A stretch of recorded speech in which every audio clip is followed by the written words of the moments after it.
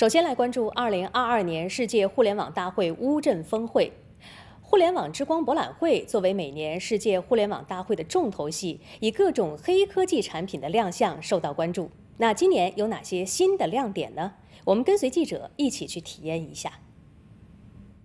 今天在这个世界互联网大会的互联网之光展区，我就为大家找到了一款这个黑科技自行车，就是我身边的这台，它是靠一台靠这个指纹解锁的智能自行车。首先这边的这一块你看到了吗？这个圆圆的就是指纹解锁的地方，我们只要长按它，这辆车就自动解锁了。如果没有指纹解锁的话，这辆车可是不会动的哦。而且更特别的一个点在哪里？就是当我们再次长按这个指纹解锁键的时候，会有你的骑行伴侣出来，你只要对它输入一些指令，它就会对你完成相关的这个工作。比如说打开灯光，你看前后的灯光就开了。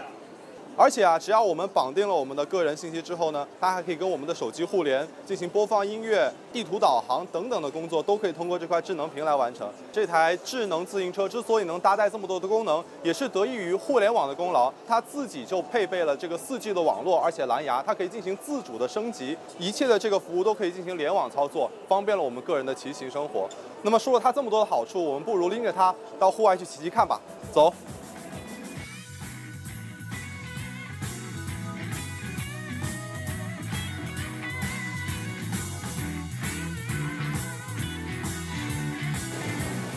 哇，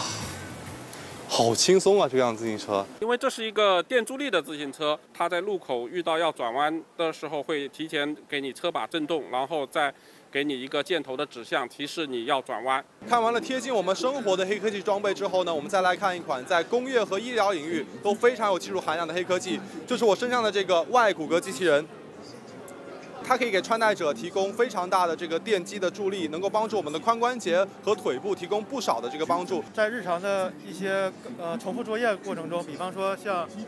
经常用到腿部的和一些腰部的这样的一些工作中，这一款是我们的膝关节助力。有的这个工作可能更用费膝盖是吧？对，有的有的工作其实是对膝盖的腰度就是强度会要求更大一点。然后我们专门做了这这样一款机器人，通过耗氧量进行一个测试，助力效果能达到百分之三十到四十四十左右。